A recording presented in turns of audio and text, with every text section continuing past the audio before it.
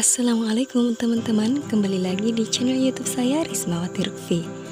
Di video kali ini saya akan membahas beberapa fitur yang terdapat pada GB WhatsApp versi terbaru 2020. Tapi sebelum lanjut, kalian jangan lupa subscribe dulu akun channel YouTube saya. Karena subscribe itu gratis kalian punya kesempatan untuk mendukung channel ini agar lebih bermanfaat. Oke, langsung saja kita ke pembahasan pada fitur GB WhatsApp. Nah, untuk fitur yang pertama, menyembunyikan status typing dengan GB WhatsApp. Nah, seperti ini tampilan menu pada GB WhatsApp. Dan untuk tampilan berikut untuk fitur yang pertama caranya yaitu pada bagian atas titik tiga kita klik. Kemudian pilih GB pengaturan. Setelah itu klik privasi dan keamanan. Lalu klik kontak. Kemudian checklist sembunyikan mengetik. Lalu klik OK. Jadi, ini adalah tutorial yang pertama pada fitur GB WhatsApp. Kemudian untuk fitur yang kedua, menghilangkan centang dua dengan GB WA terbaru. Nah, untuk fitur ini tutorialnya yaitu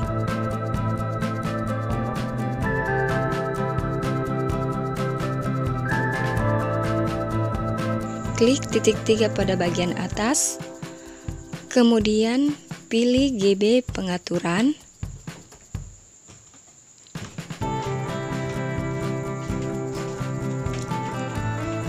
Setelah itu, pilih privasi dan keamanan. Kita klik saja langsung pada bagian ini. Privasi dan keamanan. Lalu, klik kontak. Kemudian, checklist sembunyikan centang biru dan checklist sembunyikan centang kedua, lalu klik OK. Nah, untuk fitur yang ketiga, membaca pesan WA yang sudah dihapus. Nah, untuk membaca pesan WA yang sudah dihapus, kita klik saja titik tiga pada pojok bagian atas, kemudian di sini kita klik GB pengaturan.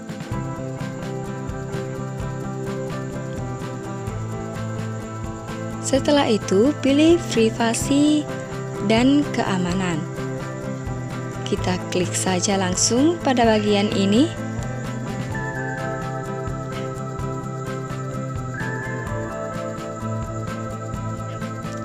Selanjutnya, kita scroll ke bawah.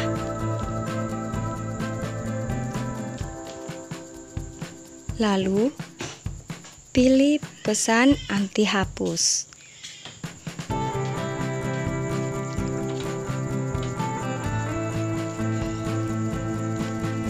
Nah, setelah itu, untuk fitur yang keempat, mematikan koneksi internet tanpa mematikan data internet.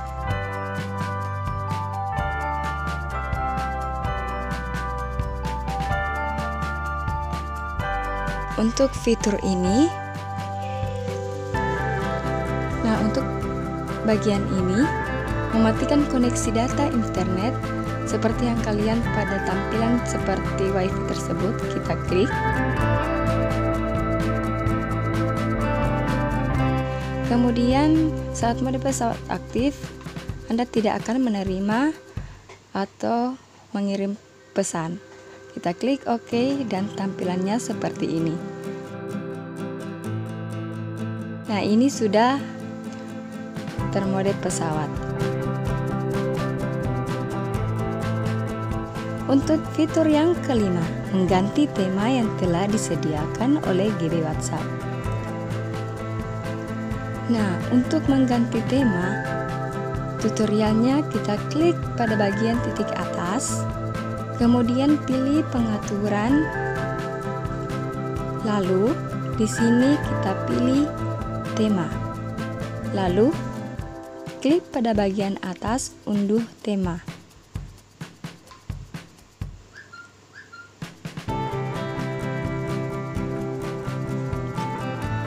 Nah, di sini kita bisa bebas memilih tema yang kita inginkan.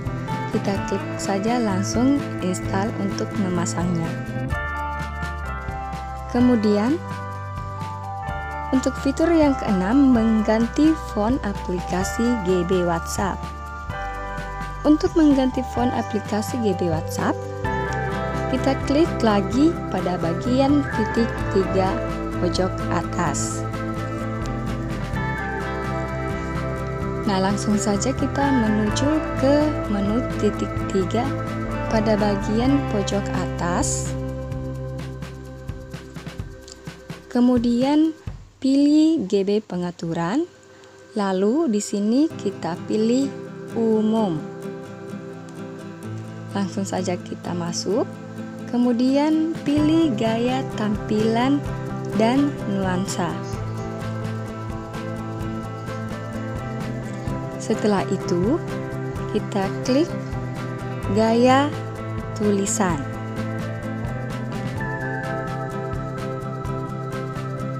Nah, di sini kita bebas memilih beberapa font yang akan kita pakai untuk BB WhatsApp kita. Langsung saja kalian klik salah satunya. Dan untuk fitur yang terakhir, melihat status WA yang sudah dihapus. Nah, untuk melihat status WA yang sudah dihapus, caranya yaitu kita klik lagi titik tiga pada bagian pojok atas. Langsung saja kita masuk di situ untuk mengatur agar WA pesan WA yang sudah dihapus bisa dilihat. Langsung kita pilih GB pengaturan di sini. Langsung saja kita klik ya teman-teman. Kemudian setelah itu pilih privasi dan keamanan. Lalu scroll ke bawah pada bagian ini. Kemudian kita klik lagi pesan anti hapus. Nah, di sini kita bisa melihat pesan yang sudah dihapus. Nah, itu dia beberapa fitur yang terdapat pada GB WhatsApp ya teman-teman. Kalian bisa mencoba fitur tersebut karena linknya sudah saya simpan di description box. Kalian bisa mengklik link tersebut lalu mendownloadnya. Oke teman-teman, sampai jumpa untuk video selanjutnya. Ingat tombol subscribe-nya, like, komen, lalu share ke sosial media kalian. Thanks for watching. Wassalamualaikum warahmatullahi wabarakatuh.